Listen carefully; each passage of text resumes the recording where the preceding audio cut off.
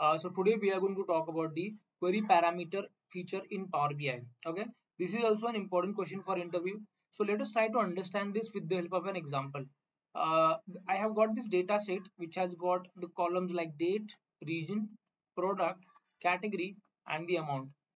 Let's just say that I have created a very basic visual uh, using this data and this as we can see we uh, we have as we can see we have sum of amount on the y-axis and the category filter on the x-axis. Now let's just say that i've created this visual but my reporting manager comes to my desk and tells me that see i don't want to analyze the data based on the category. Uh, rather i want to analyze the data based on the region. So what i will do i have two options. I will remove the category and add the region and then the data would get filtered for the region. This is one option. And the second option is that I will have to create entirely new visual for the region. So in whichever way I can do that. But after I do this, let's say again my reporting manager comes to my desk and tells me that see I don't want to analyze the data based on the region.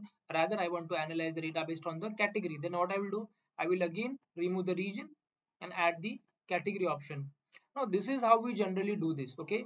But with the help of query parameter functionality, we'll be able to do this in a very easy way. Okay but if we use the query parameter then we will not have to put in so much of effort just for filtering for multiple dimensions. How does query parameter make our life easy? I'll tell you this.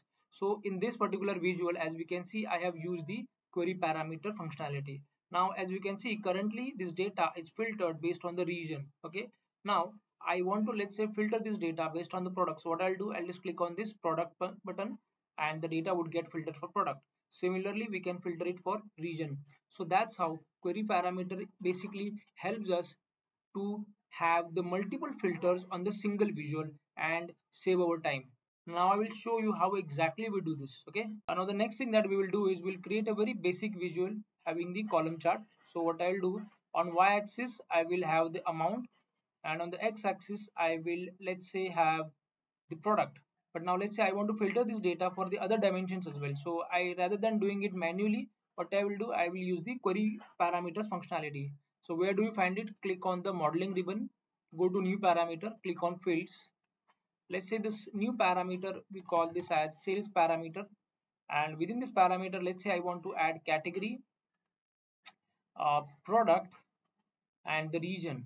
Okay? So these three functionalities I want to as a filter.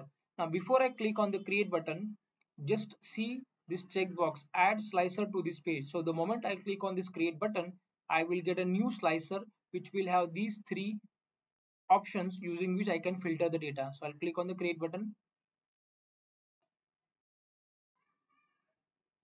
As we can see, we have got the three filters to filter the data. But now if I try to filter the data based on this visual, I am not able to filter it. Okay, why exactly is this happening because there is no connection between these two visuals. So what i will do i'll create a connection. How do i create a connection?